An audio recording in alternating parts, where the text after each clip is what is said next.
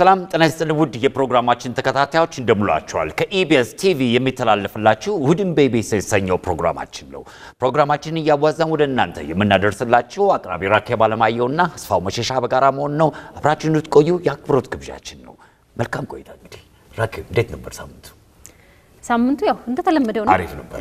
ጥሩ ነው። ብዙ የተለያዩ ነገሮች መልካምም መጥፎም ሁሉም ነገር አዎ፣ በነገራችን ላይ ደግሞ አመት በዓልም እየቀረበ እኮ ነው። አዎ እሱ ትልቁ ነገር እንግዲህ ይህን አመት እየዘጋን ስለሆነ እየዘጋን ወደ አዲስ የምናቅድበት ሞቅ ደመቅ ያለ አመት በዓል አዎ በግላችንም ብዙ እቅዶች የምናወጣበት ያለፈውን ደግሞ አንድ አመት የምንገመግምበት ሊሆን ይችላል። ብዙ ሰው እንደዛ የሚያሳልፈው ይመስለኛል። እኛ አዲሱን አመት 2011 ለመቀበል አንድ እሁድ ናት የቀረችን። አዎ፣ ዝግጅታችንም አሪፍ አሪፍ ነገር አመት በዓል አመት በዓል የሚሸት ዝግጅት ይዘን ነው የምንቀርበው። ከአሁኑ ደግሞ የሚቀጥለው ሳምንት ለየት ያለ ነው። ለየት ያለ ምንድን ነው የሚባለው? ሞቅ ደመቅ ሸብረቅ ቦለልን ረሳ ቦለለለለ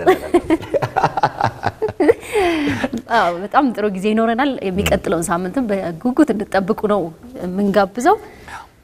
የዛሬውም እንዲሁ ቆንጆ ዝግጅቶች አሉንና ያዋዛል። እንግዲህ እስቲ ያሉንን ነገሮች ትንሽ ቀንጨብ ቀንጨብ እያደረግን ለተከታታዮቻችን እናደርስ። አዎ በዚህ ሳምንት ምን ተካሄደ፣ ምን አዲስ ነገር ነበር፣ ቀጥሎ ደግሞ ምን አለ የሚለውን በትንሹ ጠቆም አድርገን ወደ ሌሎች ዝግጅቶቻችን እናልፋለን። በትላንትናው ዕለት አንድ አንድ ለረጅም ጊዜ ከሀገሩ ርቆ የቆየ የጥበብ ባለሙያ አክቲቪስት ታማኝ በየነ ጋዜጠኛም ነው። ዘርፈ ብዙ ባለሙያ ነው። ብዙ ቦታ ላይ ብዙ ትዝታዎች ያሉት ብዙ ታሪክ የሰራ በሙያው የሚጠቀስ ሰው ነው። በትላንትናው ዕለት ወደ ሀገሩ ተመልሷል። ከሁለት አስርት ዓመታት ከሀገሩ ከራቀበት በደመቀ አቀባበል በጣም በቆንጆ በጥሩ አቀባበል እንዳልከው በአቀባበል ስነ ስርዓቱ ላይ አድናቂዎቹ፣ የሃይማኖት አባቶች፣ የመንግስት ከፍተኛ ባለስልጣናት ተገኝተው ነበር። በቀጣይም እንግዲህ እድሎች፣ ሁኔታዎች ከተመቻቹ የጥበብ ስራዎቹንም በሀገር ውስጥ የሚያቀርብበት አሁን ያለውን ደግሞ ቀደም ሲል በአዲስ ነገር ዜና ዘገባችን በኢቢኤስ ቴሌቪዥን ሽፋን ሰጥተነው ነበር። ወደ ሀገር ውስጥ ሲመጣ አሁን ያለውን እንቅስቃሴና ለውጥ የመደገፍ ሀሳብ እንዳለው ሌሎች ስራዎችም ላይ መሳተፍ እንደሚፈልግ ተናግሯል። ብዙ ሰዎች እንግዲህ ብዙ የጥበብ ሰዎች ወደ ሀገር ውስጥ እየመጡ ነው። አለም ፀሐይ ወዳጆም ባለፈው ሳምንት መታለች። አዎ፣ ከመጡት በየነ ደግሞ ትናንትና ገብቷል። አዎ፣ እንግዲህ ደስ የሚል አቀባበል ነው ለሁለቱም ለሌሎችም አብረዋቸው ለመጡት የተደረገው።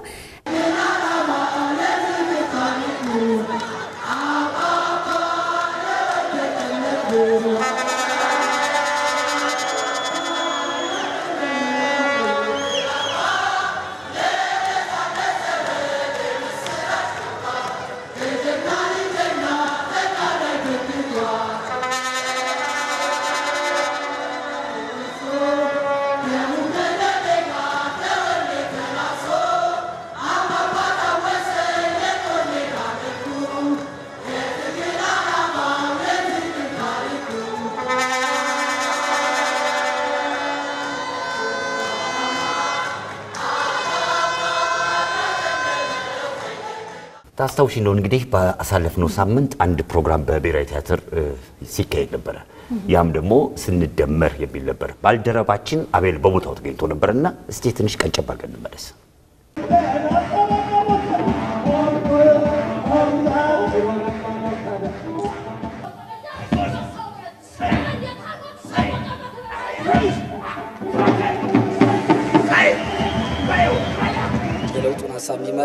ጽንሰ ሀሳብ ጥቅሉ ሲታይ ስንደመር የሚለው ነው። መደመር የሚለው ጽንሰ ሀሳብ ነው። ስለዚህ የመጀመሪያውና ዋነኛው ጉዳይ የለውጡ አካል ነን። በለውጡ ውስጥ አብረን መቀጠል መቻል አለብን። ለውጡ ውጤት እንዲያመጣ ሁሉም ሰው የሚችለውን ነገር ማድረግ አለበት። በጋሞ ደንስበት፣ በሐረርኛ ጸልይ፣ በከፍኛ ዳኝበት፣ በኩናማው አልቅስ፣ በአገውኛ ጩምበት።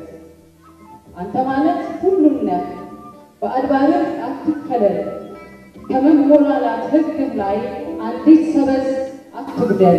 ልክ መሳሪያው አደራደር ላይ እንደገና ይሄው ራሱ ነው ሪፕሬዘንት የተደረገው የኛ የኛ የራሳችን ተፈጥሮ ነው መሳሪያው ላይ እንዲያልፍ የተደረገው ያ ነው ህብር የሚሆነው ከኛው ባህል ከኛው ተፈጥሮ ይወስድና የእኛኑ ስሜት የሚቃኝ አዲስ ድምፅ አዲስ ጥበብ ይሰጠናል። ይሄን ለማድረግ እንዳልኳችሁ መደመር ነው። ሌላ ሳይንስ ያለው አይመስለኝም። ከዚህ ማህበራዊ አስተሳሰብ የተወለደው ፖለቲካ ገኗል። አሁን ከፍ ብሏል። መደመር የሚለው ሀሳብ ግን በማህበረሰባዊ አስተሳሰባችን ውስጥም ስንደመር ነው የኖር ነው። በእድር ስንደመር ነው የኖር ነው። በእቁብ ስንደመር ነው የኖር ነው። በማህበር ስንደመር ነው የኖር ነው።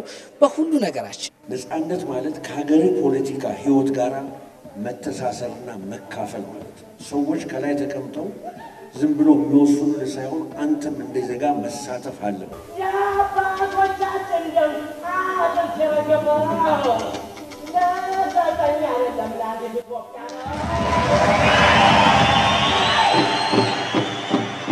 የጅማ ስልጣኔ የኦሮሚያ ስልጣኔ የሐዋሳን ስልጣኔ ከዚ አይደለም። ይሄ ከተማ እንደዚህ አይደለም። አንድ ህዝብ ብቻውን የገነባው ስልጣኔ ነው። ባቢሎን እኮ ብንሄድ የባቢሎን ስልጣኔ እንኳ የአፍሪካውያን፣ የኤዥያውያን፣ የአውሮፓውያን የጋራ ድምር ነው። ትናንትን ናፍቄ ዛሬንም ናፍቄ ነገንም ናፍቄ ባልጠየቅኩት ጉዳይ የአእምሮዬን ኩሬ አላግባብ አድርቄ ይኸው ደርሻለሁ። አገሬን ላገኛት በሀገር ጥያቄ ሰው ደስ ብሎት ሀሳቡን እየሳቀ እየቀለደ እያጨበጨበ አንዳንዴም እየተናደደም ቢሆን ሀሳቡን ሰምቶ ወደ ውስጡ የሚያሰርጽበት መንገድ ነውና ኪናዊው መንገድ በጣም ቤስት ነው። አሁን የዛሬ ሰባት ስምንት ዓመት ባህር ዳር ሄጄ አዝማሪ ቤት ገብተን ዘፈን እንስጣችሁ እንደኛማ አንድ ለአምስት ተደራጅተናል አሉ። ቤት ሲሰራ ድንጋዮቹን ሲገጣጥሙ አናጺዎቹ ዝም ብለው እንዳገኙት አይገጥሙት። የሆነ መሸራረፍ ይኖራል። አንዱ ከአንዱ ጋር እንዲገጥም፣ ስለዚህ ባህል ከባህል እሴት ከእሴት ጋር እንዲገጥም ሲባል የሚፈጠሩ ነገሮች አሉ፣ ህመሞች አሉ። ያለ ህመም የተፈጠረ አገር ፈጽሞ የለም። በካፌ አትሸነፍ፣ ዶፍ ዝናብ አለብህ። ምን ተይዞ ጉዞ ሀያል ነው ፈተናህ። ምን ተይዞ ጉዞ ከአንድ ጎጆ ክፍካፍ አንድ ሳር ተመዞ እነሱም ግን ታጥበው ታጥነው ያረገዙትን ቂምና በቀል፣ ተንኮል፣ ክፋት አስወግደው እንዲቀበሉኝ ዲፕሎማሲያዊ በሆነ መንገድ እጠይቃለሁ። አዲስ ዘመን ነኝ፣ አልቀርም እመጣለሁ።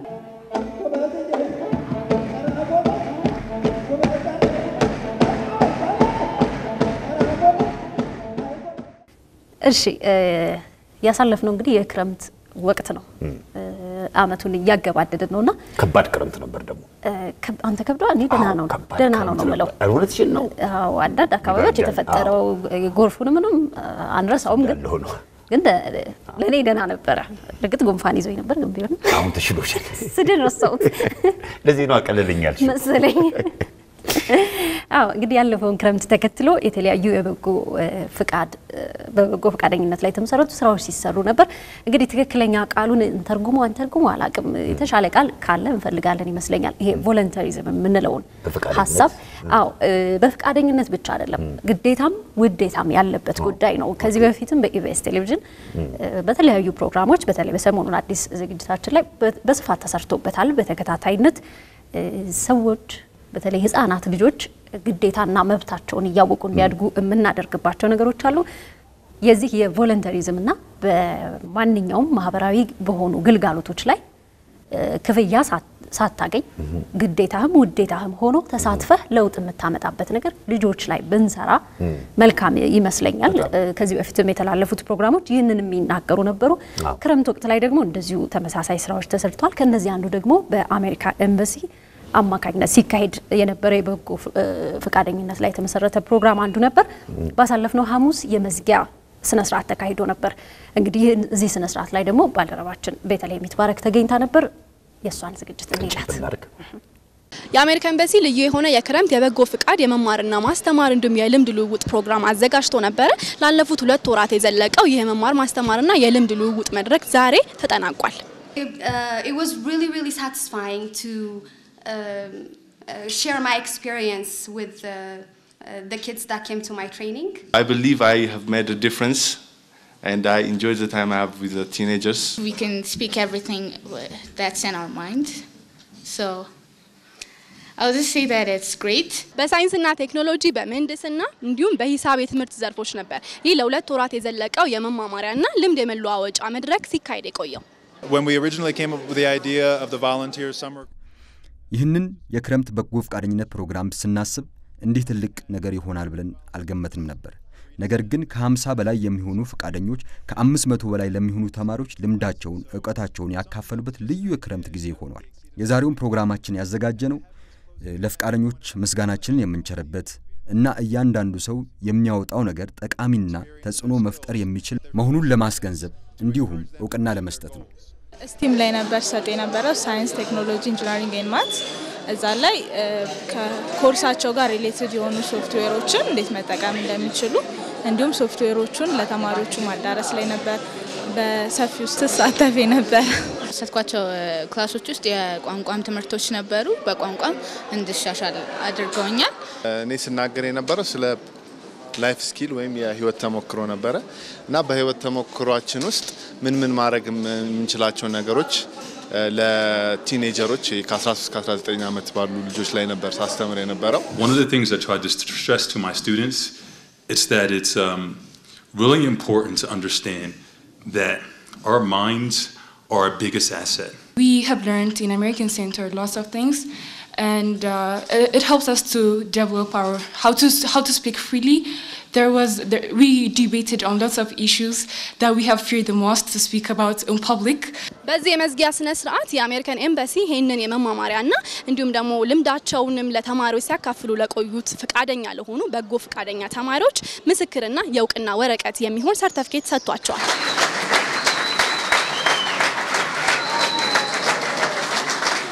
ሌላው ከበጎ ፈቃደኝነት ጋር እንግዲህ ተያይዞ ባሳለፍነው ሳምንት አንድ የሰማነው ነበረ። ስለሱ የምታውቂው መረጃ አለሽ? አዎ ያው volunteerism ላይ ይህንን ሀሳብ እንደገና እዚህም ተደግሟል ማለት ነው። የነህሚያ ኦቲዝም ማዕከል ነው አይደል? ኦቲዝም center ነው። አሁን እንግዲህ ይህንኑ ደግሞ በሚመለከት የዩኒቨርሲቲ ተማሪዎች ልዩ ልዩ ድጋፍ ሲያደርጉ ቆይተዋል። እንግዲህ ይህንን በሚመለከት ደግሞ ቤተልሔም የተባረክ በቦታው ተገኝታ ነበር። ትንሽ እሱንም ቀንጨብ አድርገን እንመልሳለን። የተለመደው በ volunteer ኦች ነው የምናሳልፈው እና ከአምና ወደ መቶ ነበሩ፣ ካቻ አምና ሰባ ሰባት ነበሩ፣ ዘንድሮ መቶ ሀምሳ ሆነዋል። በጣም ከልጆቹ ጋር የምናሳልፈው ጊዜ ራሳችንን እንድናውቅና እንድንፈትሽ አድርጎናል። መጀመሪያ እኔ እዚህ ስመጣ እንደዚህ አይነት awareness አልነበረኝም ስለ ኦቲዝም ማለት ለብዙ ሰው ራሱ autism center ነው የምሰራው ስላቸው እንዴት ነው የምሰሪው ምናምን ይሉኛል። ግን እዚህ ከመጣሁ በኋላ ምን እንደሆነ ተረድቻለሁ። ምንም በበጎ ፈቃድ እንትን ክረምታችንን እንዲሁ ዝም ብለን ከምናባክን በሚለው እየሰራን ነበረ። አሁን ሙስቶፋስ አንድ ወር ሁለት ወራችን ነው ከጀመርን። ልጆቹን በዋነኛነት ልጆቹን እናስተምራለን፣ እናጫውታለን። አብዛኛው ጨዋታ ነው የሚጫወቱት ልጆቹ። ባለፈው የክረምት ጊዜ አንደኛ ነገር እኛም ካለን ያስተሳሰብ ስለ ኦቲዝም ያለን አስተሳሰብ ተቀይሯል። እናም ደግሞ ከእነሱ ጋር ስትውይ አንደኛ ነገር የመንፈስ የእርካታ ይኖርሻል። ሁለተኛ ነገር ደግሞ እዚህ ጋር በሰውነትሽ የሆነ ነገር ያደረግሽ እንደሆነ ማወቅ ራሱ ትልቅ ነገር ነውና የምናስተምራቸው መጽሐፍ ምናምን፣ ግን በዋነኝነት የምናስተምራቸው እንዴት ነው ከህብረተሰቡ ጋር መቀላቀል የሚችሉት። አሁን ለምሳሌ ሸሚዝ ምን እንደሆነ በተግባር ነው የምናሳያቸው። ይሄ አሁን ይሄ ሸሚዝ ከናቴራ እያለን በራሳቸው ልብሶች በራሳቸው እንዲያውቁት experience እንዲያደርጉት ነው እያስተማርናቸው እያለ ነው ማለት ነው። train ስናረጋቸው የመጀመሪያ ቀን እግዚአብሔር የሰጣቸውን አይምሮ መጠበቅ እንዳለባቸው የተፈጠሩት መልካም ስራ ሰርቶ ለማረፍ እንደሆነ አይደል። ባለችን ዘመን የተለያየ ሱስ ውስጥ የገቡ ልጆች አጋጥሞናል፣ እዚህ volunteer ሊያደርጉ የመጡ ስለዚህ እነሱም ይሄ የተሰጣቸውን አይምሮ ጠብቀው ማለፍ አለባቸው። እነዚህ ልጆች ላይ ደግሞ የዘራነው ዘር ነገ መልካም ነገር ሆኖ እንደምናጭደው አምናለሁ። እሺ እንግዲህ ባለፈው ሳምንት የተካሄዱትን የተወሰኑትን ነበር ያነሳ ነው። በመጪው ደግሞ ሳምንት ላይ ምን አለ የሚለውን አንዷን እንኳን ልጠቁም ብዬ ነው። በነገው ዕለት ለዘጠነኛ ጊዜ አንዲር የባህላዊ የሙዚቃ ኮንሰርት ይካሄዳል።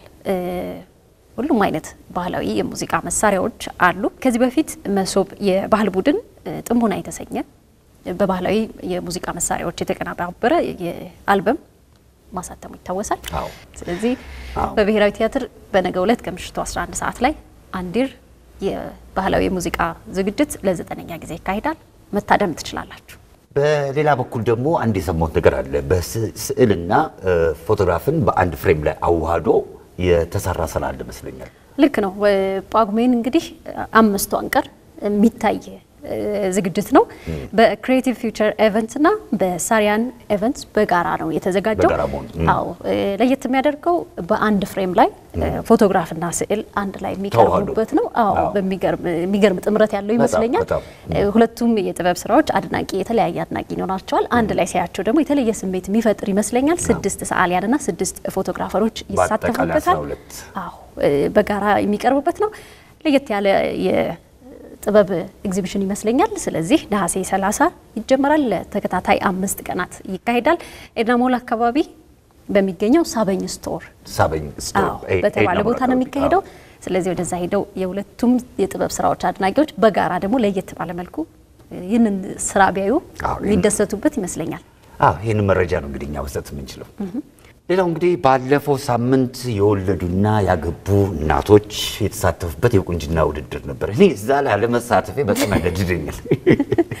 ያገቡና የወለዱ አባቶች አይደለም እናቶች በመላጣ ብሳተፍ እኔ ማሸነፍ ይዘጋጃል። እንዴት ነበር ታዲያ? እሱ ደግሞ በጣም አሪፍ ኒውስ ነው የሰማሁት። ቆንጆ ነገር ነው የሰማሁት። እንዳልከው ለየት ያለ ነው። ከዚህ በፊት ወጣት ሴቶች ወይዘሪት በሚል ርዕስ ነው የቁንጅና ውድድር የሚካሄደው። ይሄ ቱሪዝም ላይ ትኩረት ያደረገ ነው። ወይዘሮዎችን ነበር ያሳተፈው። ሀገራችንም ተወክላ ነበረ በሞዴል ፈቲያ መሐመድ አሸናፊ ሆናለች። እንኳን ደስ አለሽ ነው የምንለው። ደስ የሚል ነገር ነው። ሀገርን የወከለ በየትኛውም ዘርፍ አንድ ሰው ሲያሸንፍ ደስ ይላል። አገሩ ወክሎ ምንም ነገር ሲደረግ መቼም ደስ ይላል። በሚገባ እንግዲህ ይህንን የመሳሰለ ለእናንተ አድርሰናል። ከእኛ ጋር እንድትቆዩ የአክብሮት ግብዣችን ነው። መልካም ጊዜ።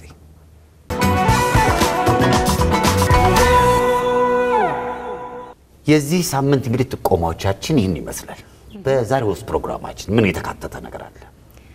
በዛሬው ፕሮግራማችንም እንግዲህ ቆንጆ ዝግጅቶች አሉ። እንደተለመደው እንደተለመደው ነው። የቡና ሰዓታችን አለ፣ እንተዋወቃለን ነው ይቀጥላል። ውሎም አለን። ሙዚቃዎችም ይኖሩናል። አሁን ናቲ ደግሞ እንዲሁ ለየት ያለ ነገር ያው እያዝናናን ነው ናቲ አይደል? ስለዚህ ዛሬም የምንዝናናበት አንድ ነገር ይዞልን መጥቷል። ሌላው እንግዲህ በተረፈ ለእኔ ደግሞ የሚሆን አንድ ቲያትር ተዘጋጅተዋል። የህፃናት ቲያትር የልጅ ልጅህን የምትወስድበት አተ ነበር ማለት ነው። ወይ እኔን ይዘኝ ትሄዳለን። አንድ ልጅሽ የሚለው። መልካም ጊዜ እንዲሆንላችሁ የአክብሮት ግብዣችን ነው። መልካም